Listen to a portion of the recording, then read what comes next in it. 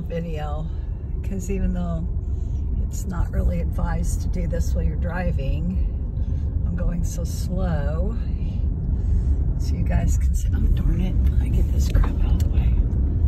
So you can kind of see this is right along the river. Okay.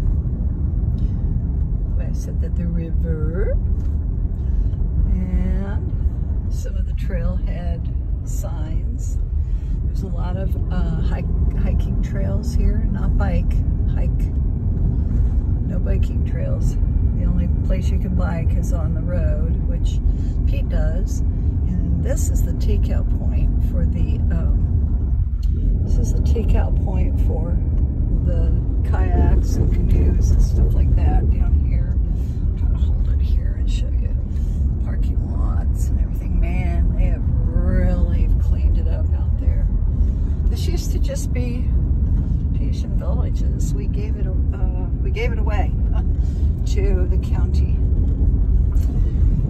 which, you know, is good and bad. The good part is that um, we don't have to come down and lock the gates every night to keep the riffraff out of here, um, because there was riffraff.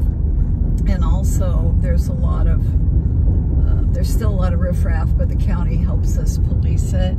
There's a lot of county money that's gone into um, shoring up all of these, like all the those pillars back there with the, what would you call it, the heavy duty wire that goes through that, the fencing, post fencing, that's all been done by the county.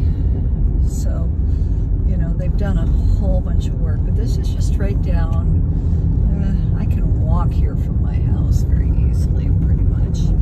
It's a walk. I mean, you know, it's a mile or two, but not a big deal. Not a big deal. And it's just so pretty. Right now, it is 85 degrees, so just about perfect. A little warm for people who aren't used to the south, but it's perfect for those of us who are. Especially if you're in the shade, then it's absolutely perfect. If you get a little breeze if you're in the sun, it might be just a little bit, um, a little bit warmish. But here, I'm going to come around the corner, and you're going to see the golf course and where I turn to go up to my house.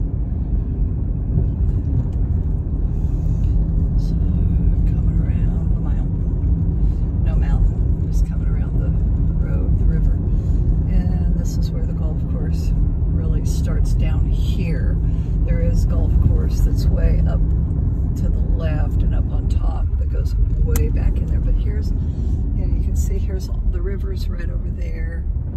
That's all golf course. And this is where you turn to go up the hill to my house, which is right at the top of the hill. Right, jump.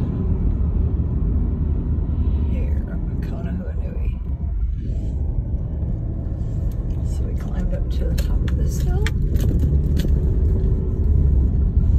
Now we're going to drop down a little bit. And we're going to go up to the top of my driveway hill. You know, all the river and stuff is all down there, right? So turn the corner and go up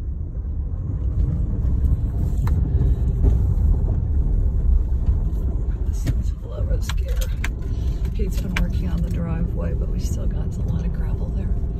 And up to the top of the hill. And